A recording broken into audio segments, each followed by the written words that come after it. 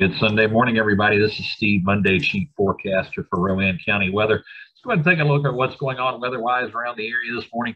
44 degrees to start the day off at the Weather Center, 45 degrees at the Mid-Carolina Airport in Salisbury, 36 degrees up in Boone, 32 degrees over toward Hickory. So certainly some very uh, cool temperatures to start the day off, chilly temperatures in some areas. And you can see out toward our uh, east, we've got 50 degrees, especially out toward the coast, 52 degrees down there as well.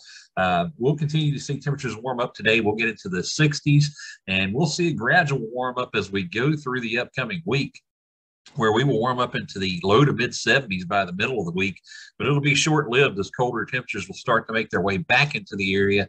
And by next weekend, we're going to have highs back in the 50s. So it'll certainly be a short lived period of warm weather as we move through the week this week. Taking a look at where some rain is around the uh, country right now over toward the coast there in uh, South Carolina around Charleston, getting some rain out along the outer banks as well of North Carolina, getting some rain.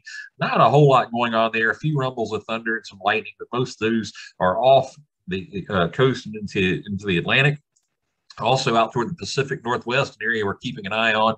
You can see we've got some uh, rain and snow mixing in along the Pacific Northwest, and we'll see rain showers continue and snow showers continue to develop there. And we're watching this front because it moves through the country. This is the front will, that will bring us to cooler temperatures by next weekend. It's not going to move very quickly, but as it does move through and make its way into our area, we'll see some colder temperatures move back in. Again, we'll have highs in the 50s by next Saturday. So again, colder conditions will move in. Also, some rain will move in with this front as it gets closer to us.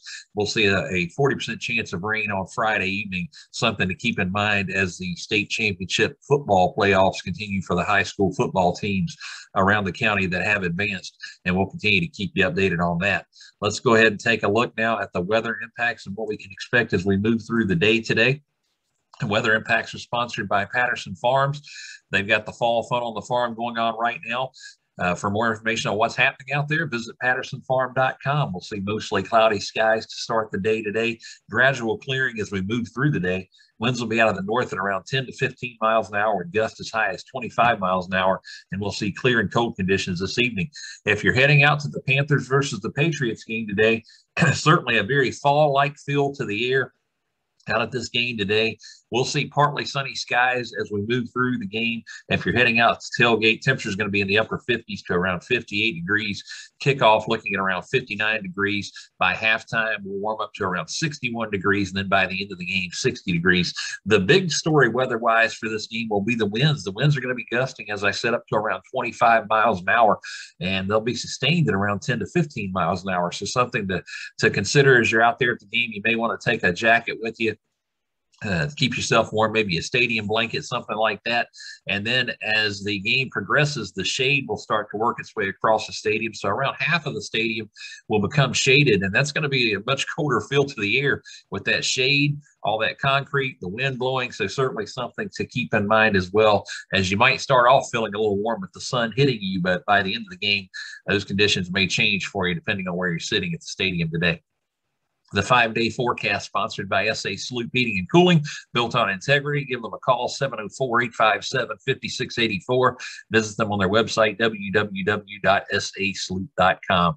Mention you notice they sponsor the forecast on Rowan County weather. They'll give you $25 off your first time service call. Today, we'll see partly sunny skies, high of 61, clear skies by this evening with a low of 34. On Monday, we'll see sunny skies with a high of 70, clear skies Monday evening, low of 37.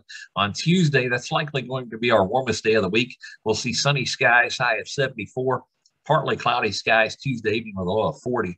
On Wednesday, we start to cool back down a little bit with partly sunny skies, high of 72. We'll see partly cloudy skies Wednesday evening with a low of 42. Then on Thursday, we drop back into the 60s with partly sunny skies, high of 68. 40% chance of rain as we move through the evening hours on Thursday with a low of 50. So we'll continue to keep you updated on that. If you're looking for ways to stay updated with Rowan County weather at any time, you can visit us on our website, www.rowancountyweather.com. You can follow and like us on our social media pages, Facebook, Instagram, and Twitter.